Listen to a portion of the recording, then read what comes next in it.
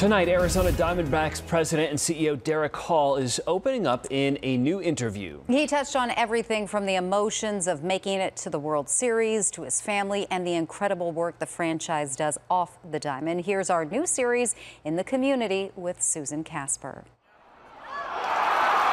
you dream of being on a stage and accepting a trophy one day. Absolutely. And I've been in this game over 30 years. That was the first time I got to accept a trophy on, on the stage in Philadelphia. And I remember holding that, that trophy and I was numb. And I went upstairs to my room, opened up the door in the dark, closed it, sat down on the, on the couch, and just started bawling. It was powerful. So proud of that. Tell us about your childhood. I was born in LA and uh, had a great childhood. You know, we were a very small family. It was my mother, father, and my older brother. We moved all over the country. My dad was in the newspaper business, so he grew up in Arkansas, he and my mother, and uh, he was a, a big baseball player. He had told me when I started my career in baseball, he said, You're going to move up quickly. And he said, Because I know who you are. And he said, But I don't ever want you to forget who got you there. And I want you to know the name of everybody that works for you. I want you to know every security guard's name, every usher's name. And it's something that I've, I've tried to do. What is your greatest accomplishment?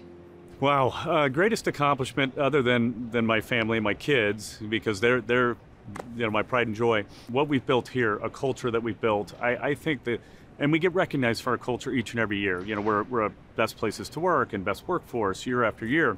Um, the United Nations chose us as the friendliest, you know, organization in, in all of sports, and that I take most pride in. Uh, or the little things like, you know, creating Salt River Fields, which is considered the, the best training facility in all of baseball. It's oh, beautiful, yeah. and our fans have a blast there. And let's talk about the work. Let's talk about the Arizona Diamondbacks Foundation know, it's very important that we start with a rookie class every year and put them through a, a, class. We basically teach them what we expect, what we want them to do. In the minor leagues, they're already working on it too. So they're going out and visiting hospitals and kids in hospitals. They're going to schools and they're reading to kids.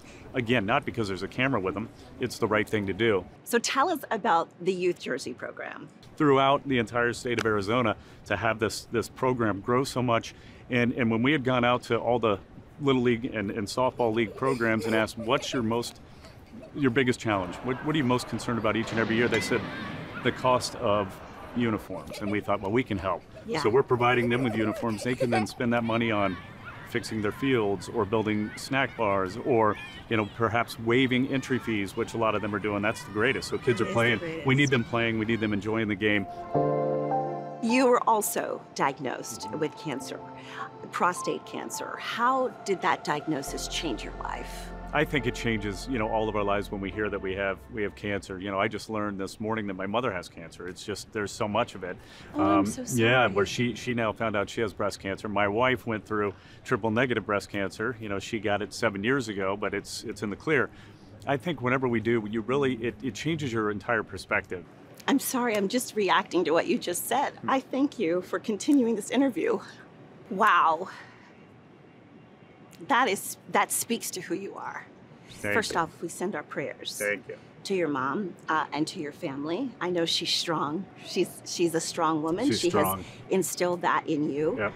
What do you want your legacy to be? My legacy would be treating our fans better than, than any team in, yes. in all the sports, not just baseball. Yeah, he's got a big heart. He also shared a lot more, including his biggest regret. Listen to the full 20 minute interview. It's online right now, azfamily.com and our AZ Family YouTube page.